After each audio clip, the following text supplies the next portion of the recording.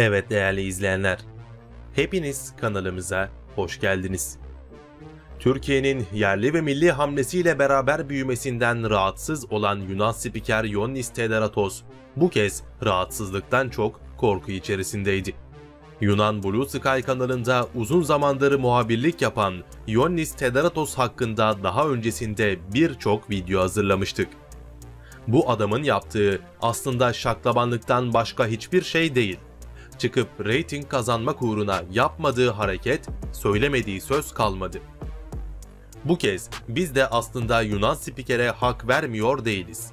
Ele aldığı konu gerçekten de rahatsızlıktan çok korku verir nitelikte.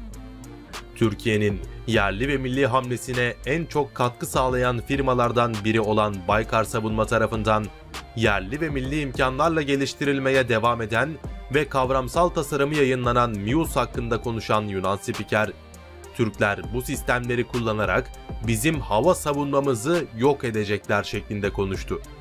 Bildiğiniz gibi geçtiğimiz günlerde de Bayraktar Kızıl Elma'nın ilk motor testi kamuoyuna sunuldu. Aslına baktığımız zaman gerçekten de Yunanistan'da şu an için Türkiye'den havalanacak bir SİHA filosunu durdurabilecek herhangi bir savunma sistemi bulunmuyor. Üstüne bir de SİHA filosuna öncülük edecek muharip insansız uçak sistemi MIUS Kızıl Elma devreye girdiğinde olacakları varın siz düşünün. Yunan spiker muharip insansız uçak sistemi Kızıl Elma hakkında aynen şöyle söylüyor.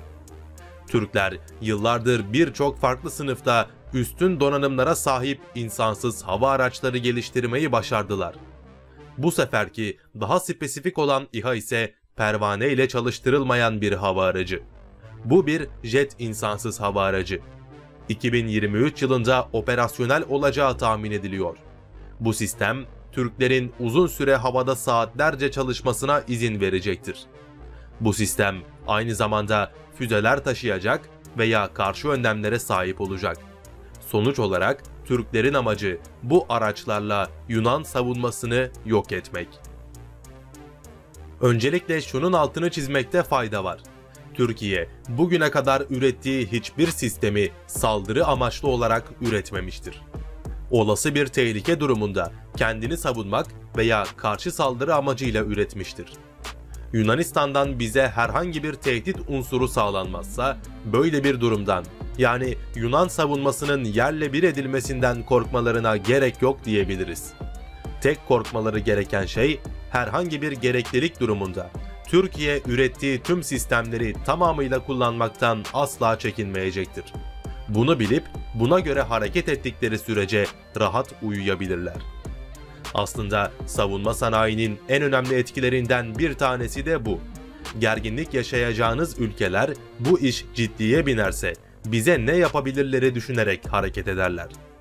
Ne kadar gelişmiş ve güçlü bir savunma sanayisine sahip olursanız yaptığınız hamleler karşısında alacağınız tepkiler o kadar minimalize olarak dönecektir size.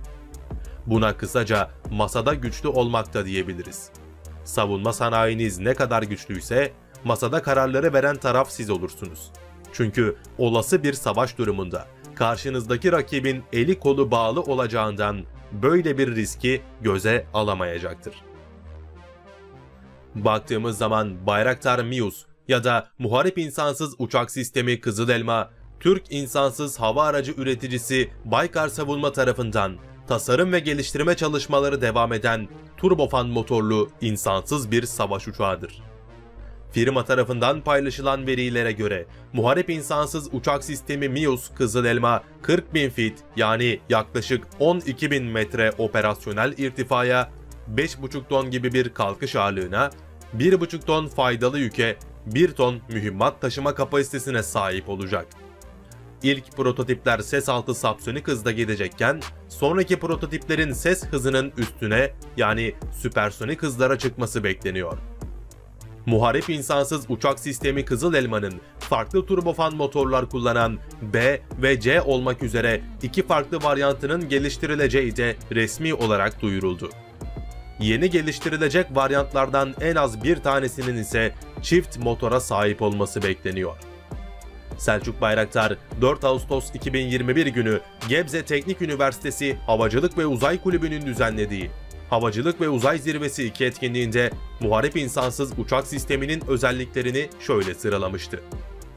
Kalkış ağırlığı 5,5 ton, faydalı yük kapasitesi 1,5 ton, gövde içi ve kanat altında mühimmat taşıma kabiliyeti, seyir süresi 5 saat, maksimum irtifa 40 bin fit, seyir hızı 800 km bölü saat, katapult yardımı olmadan yakalama kabloları ve kanca yardımıyla TCG Anadolu LHD gemisinden iniş ve kalkış yeteneği.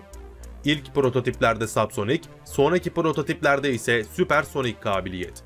Düşük radar izi, dikey kuyruklar ve önde bulunan yatay kontrol yüzeyleri ve son olarak akıllı filo otonomisi. Muharip insansız uçak sistemi Kızıl Elma'nın 2023 yılından önce ilk uçuşunu yapacağı Selçuk Bayraktar tarafından açıklanmış olsa da bu tarih 2023 yılına ertelenmiştir. Selçuk Bayraktar, Kızıl Elma'nın en az 10 yıllık bir hayal olduğunu, Bayraktar Akıncı'nın geliştirilmesi ve envantere alınmasıyla birlikte MIUS'un çok daha yakın bir platform olduğunu söylemiştir. Bayraktar Muharip insansız uçak sistemi için ilk kavramsal çalışmalar 2013 yılında başlamıştır. Proje ile ilgili en önemli gelişme ise 20 Temmuz 2021 tarihinde yaşanmıştı. Bu tarihte Bayraktar Muharip insansız uçak sistemi Kızıl Elma'ya ait ilk kavramsal tasarım görselleri ve uçağın özelliklerine dair orijinal bilgiler kamuoyuyla paylaşılmıştır.